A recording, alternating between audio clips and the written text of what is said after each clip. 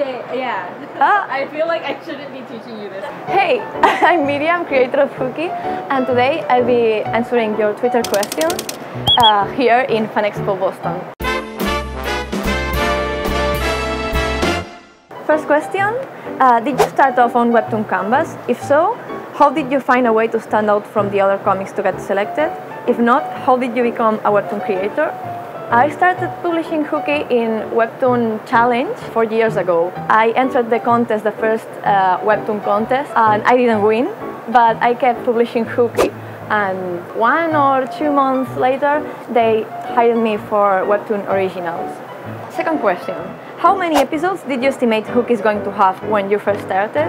And how has that number changed now? When I first started Hooky, I thought it would be like 100 episodes, that's three years. But now I've been working on it like four years, so we, we're going for 200 episodes and it's something that always happens to me. Like I estimate that some specific arc of the story will have like 10 episodes and then it ends having 20, for example. Next question. What character in the series do you think is the most similar to you and why?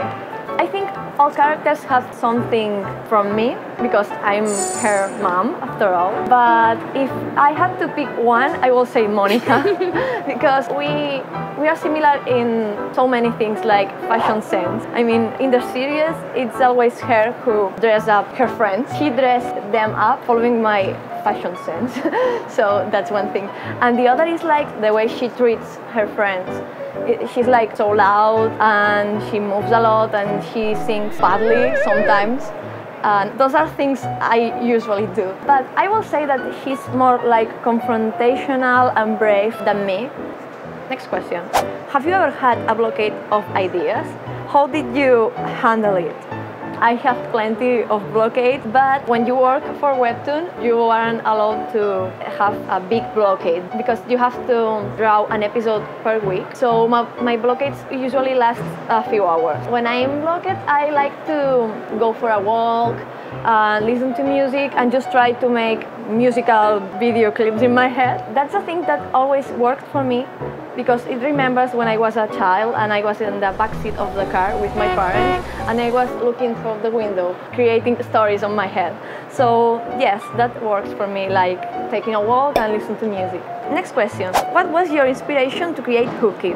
I always like stories like Harry Potter, Avatar, The Last Airbender, and things like this about kids being friends, their dynamics, and their friendship, heartwarming, light-hearted story about kids, teenagers being happy. That was my main idea to draw something like that and then destroy it with drama and darkness and make readers cry. That was my intention. Next question. How does it feel now that Hooky is coming to an end?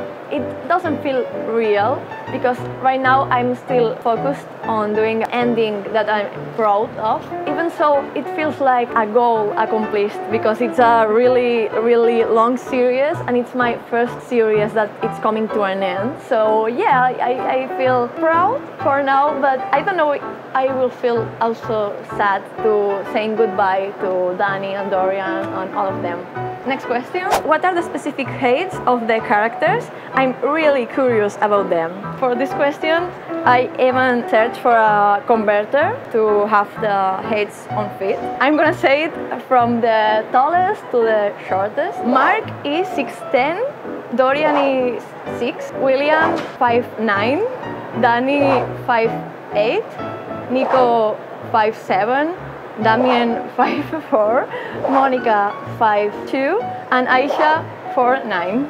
Last but not least, what things would you say to aspiring webcomic artist and what things would you recommend to look out when working on this line of work? I think the most most important thing when working as a comic artist is to absolutely love drawing comics because you're gonna spend a lot of time drawing them.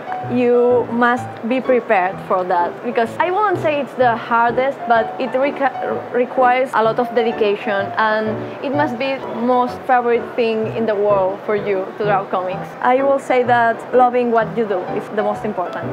Thank you so much for sending your questions on Twitter. This is Miriam, creator of Hooky. If you want to see more videos, don't forget to like and subscribe. Thank you so much. See ya.